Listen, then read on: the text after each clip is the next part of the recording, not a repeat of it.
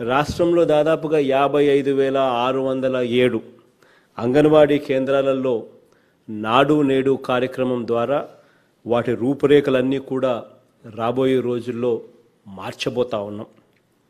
ఈ అంగన్వాడీలన్నీ కూడా ఇక మీదట ప్రీ ప్రైమరీ కేంద్రాలుగా కూడా మార్చబోతున్నాం. అంటే ఈ అంగన్వాడీ కేంద్రాలలో ఇక మీదట పెద్దవాళ్ళకు మాత్రమే అందుబాటులో ఉండే పీపీ వన్ పీపీ టూ తరగతులు ఈ చి ఈ పేదవాళ్ళకు కూడా అందుబాటులోకి తీసుకొని రాబోతా ఉన్నాం రాబోయే రోజుల్లో.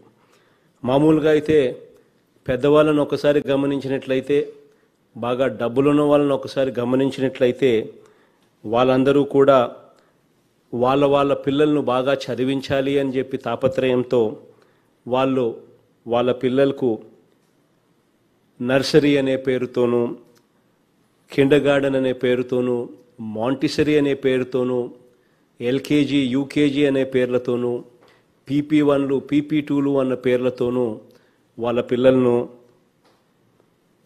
ఫస్ట్ క్లాస్ కన్నా ముందే వాళ్ళ పిల్లల కోసం చదువులకు బాగా ఉత్తీర్ణత కావాలి అని చెప్పి పంపించడం జరుగుతూ ఉంది.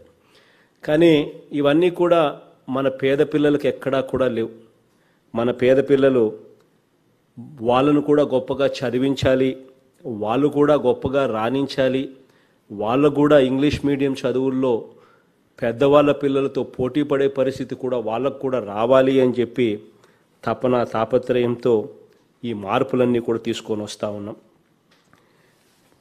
పేదవారి పిల్లలను కూడా పీపీ వన్ పీపీ టూ చదువుకొని ఆ తర్వాత స్కూళ్ళకు వెళ్ళే పరిస్థితిని తీసుకొచ్చే కార్యక్రమానికి శ్రీకారం చుడతా ఉన్నాం. ఇంగ్లీష్ మీడియం చదువుకుంటున్న పెద్దవారి పిల్లల మాదిరిగానే మన పేద పిల్లలు కూడా బడికి వెళ్ళే లోపే ప్రీ ప్రైమరీ విద్యలో ఆటపాటల ద్వారా మాటల ద్వారా ఇంగ్లీష్ మీడియంకు మరింత గట్టి పునాదులు వేయాలనే మంచి ఆలోచనతోనే అంగన్వాడీలను మార్చబోతా ఉన్నాం. ఇంగ్లీష్ మీడియంను వ్యతిరేకించేవారు అంటే మరో రూపంలో అంటరానితనాన్ని ప్రోత్సహించడమే. అలాగే ప్రీ ప్రైమరీ విధానాన్ని కూడా పేదలకు ఇవ్వకూడదంటూ వినిపిస్తా ఉన్న కొన్ని అభిప్రాయాలను కూడా చూస్తే కూడా రూపం మార్చుకున్న అంటరానితనమే కనిపిస్తుంది. వీళ్ళందరి పరిస్థితి వీళ్ళందరిలో మనస్తత్వంలో కూడా మార్పు రావాలని దేవుణ్ణి కూడా ప్రార్థిస్తా ఉన్నా. అంగన్వాడీలు అంటే కేవలం ఏదో కొద్దిగా ఆహారం ఇచ్చే కేంద్రాలుగా కూడా కాకుండా వాటిని మంచి విద్యను మంచి పౌష్టికాహారానికి మంచి మనోవికాసానికి కేంద్రాలుగా మార్చాలన్న గట్టి తపనతోనే ఈ కార్యక్రమాలన్నీ కూడా శ్రీకారం చుడతా ఉన్నాం. వైఎస్ఆర్ సంపూర్ణ పోషణ పథకాన్ని ఈరోజు ప్రారంభిస్తా ఉన్నాం. తల్లులకు పోషణ పిల్లలకు సంరక్షణ చదువుల్లో ఒక విప్లవం ఈ లక్ష్యంగా ఈ కార్యక్రమాన్ని రూపొందించాం. రాష్ట్రంలో యాభై ఐదు వేల ఆరు వందల ఏడు అంగన్వాడీల పరిధిలో నమోదైన గర్భవతులు బాలింతలు చిన్నపిల్లలు వీళ్ళందరికీ కూడా ఈ సంపూర్ణ పోషణ పథకం అందించే కార్యక్రమానికి ప్రారంభిస్తా ఉన్నాం. మొత్తంగా రాష్ట్రంలో దాదాపుగా ముప్పై లక్షల పదహారు వేల అక్క చెల్లెమ్మలకు చిన్నపిల్లలకు ఈ కార్యక్రమం వల్ల లబ్ధి జరుగుతుంది. మన రాష్ట్రంలో ఒకసారి గమనించినట్లయితే గిరిజనేతర ప్రాంతాల్లో దాదాపుగా నలభై ఏడు వేల రెండు వందల ఎనభై ఏడు అంగన్వాడీ కేంద్రాలు ఉన్నాయి ఈ అంగన్వాడీల పరిధిలో దాదాపుగా ఇరవై ఆరు లక్షల ముప్పై ఆరు వేల మంది తల్లులైతేనేమి పిల్లలైతేనేమి ప్రతిరోజు మధ్యాహ్న భోజనంతో పాటు దానితో పాటు నెలకు నెల నెలకు సరిపడే నెలవారీ పౌష్టికాహారం అందించటం కోసం ఏకంగా పదహైదు వందల యాభై ఆరు కోట్లు ఖర్చు పెడతా ఖర్చు పెట్టబోతా ఉన్నాం.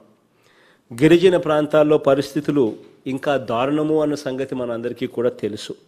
ఆహారం లేక మామిడి టెంకలు తిని అనారోగ్యానికి గురవుతా ఉన్న వార్తలు కూడా మనకు రోజు కూడా కనిపిస్తూనే ఉంటాయి. అలాగే అక్కడ అక్కచెల్లెమ్మల్లో రక్తహీనత కూడా ఎక్కువే. పౌష్టికాహారం లోపం మరింత ఎక్కువగా ఉన్న విషయం కూడా గమనించి వారి కోసం వైఎస్ఆర్ సంపూర్ణ పోషణం ప్లస్ అని చెప్పి ఒక కార్యక్రమంలో కొంచెం మార్పులు చేర్పులు కూడా చేయడం జరిగింది. అంటే సంపూర్ణ పోషణంలో ఇచ్చే వాటికంటే కొంచెం ఎక్కువగా వీరికి అందజేస్తాం. మొత్తంగా ఇవి డెబ్బై ఏడు మండలాలు ఈ గిరిజన మండలాలు ఈ ఎనిమిది వేల మూడు వందల ఇరవై అంగన్వాడీల పరిధిలోకి ఇవి వస్తాయి. తల్లులు అయితేనేమి పిల్లలైతేనేమి మొత్తంగా మూడు పాయింట్ ఎనిమిది లక్షల మంది ఈ కార్యక్రమం ద్వారా వైఎస్ఆర్ సంపూర్ణ పోషణం ద్వారా అక్కడ వాళ్ళకు మేలు జరుగుతుంది. దీనికోసం మరో మూడు వందల ఎనిమిది కోట్ల రూపాయలు ఖర్చు చేయబోతా ఉన్నాం.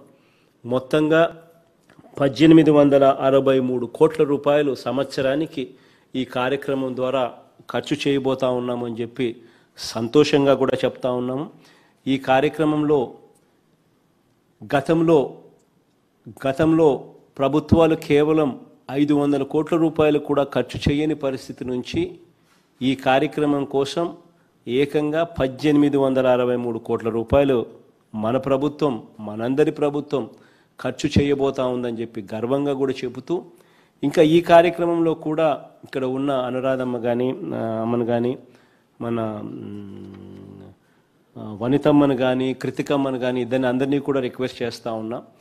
రోజు పెట్టే మెనూలో కూడా ఇంకా ఏమైనా మార్పులు తీసుకొని వచ్చి రోజు ఒకే తిండి కాకుండా కొంచెం ఇంకా రొంత కొంచెం ఖర్చు ఎక్కువైనా పర్వాలేదమ్మా ఇంకో వంద రెండు వందలు ఎక్కువైనా పర్వాలేదు.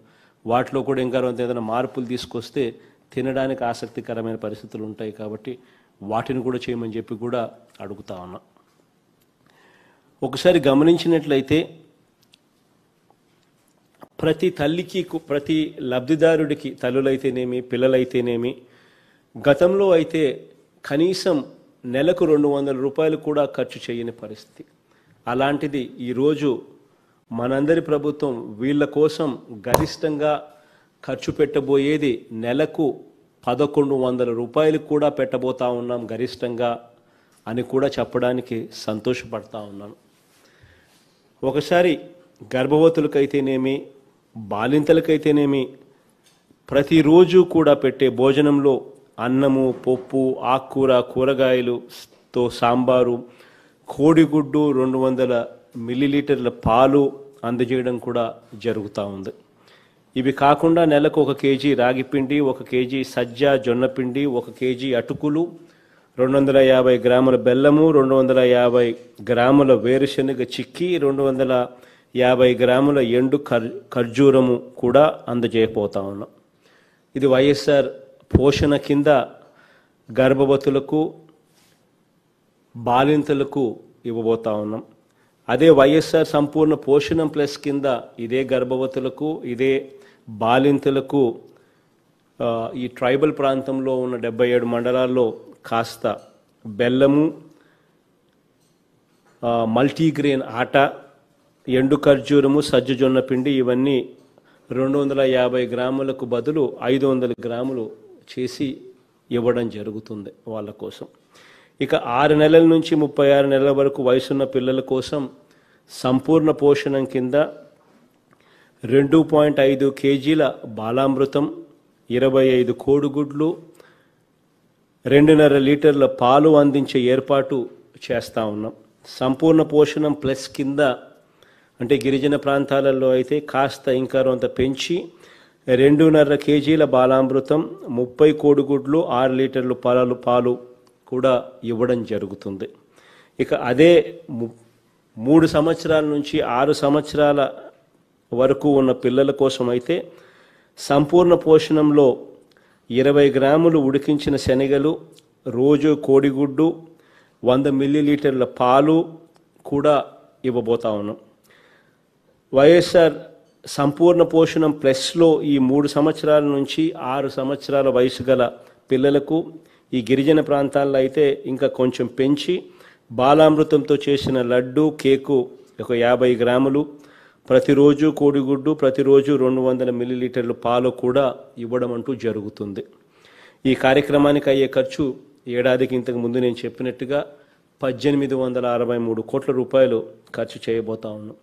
కోవిడ్ సమయంలో ఇబ్బందులు ఉన్నా కూడా ఆదాయాలు పెరగడానికి కష్టాలు ఉన్నప్పటికీ కూడా రావలసిన నిధులు రాకపోయినప్పటికీ కూడా గత పాలకులు చేసిన అప్పులు వాటి మీద వడ్డీలు మన మీద భారంగా కూడా కాస్తో కూస్తో ఉన్నప్పటికీ కూడా వాళ్ళు ఇవన్నీ కూడా అధిగమిస్తూ ఈ కార్యక్రమం వల్ల మంచి జరిగే పరిస్థితి ఎక్కువగా ఉంది అని చెప్పి భావిస్తూ ఈ అక్క చెల్లెమ్మ ఈ చెల్లెమ్మలకు అన్నగా ఆ పిల్లలకు ఒక మంచి మామగా ఒక మంచి ప్రభుత్వంగా ఈ కార్యక్రమానికి శ్రీకారం ఇవాళ చుడతా ఉన్నాం.